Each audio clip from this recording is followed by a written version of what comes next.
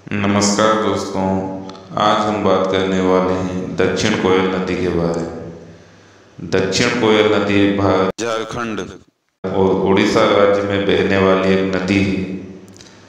दक्षिण कोयल नदी का उद्गम स्थल। इस नदी का उद्गम झारखंड राज्य के छोटा नागपुर पठार में लोहा लोहरदगा के निकट लावा पानी जलप्रपात से हुआ है। दक्षिण कोयल नदी की लंबाई इस नदी की लंबाई लगभग 250 किलोमीटर है।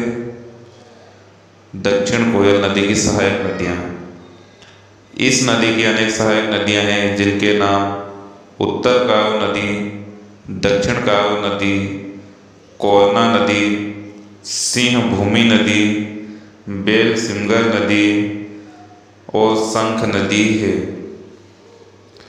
दक्षिण कोयल नदी का मुहाना यह नदी अपने उद्गम स्थल से निकलने के बाद लगभग 250 किलोमीटर का सफ़र तय करती है। और फिर यह नदी ओडिशा राज्य के राउरकेला के पानकोस के निकट शंख नदी से संगम करती है।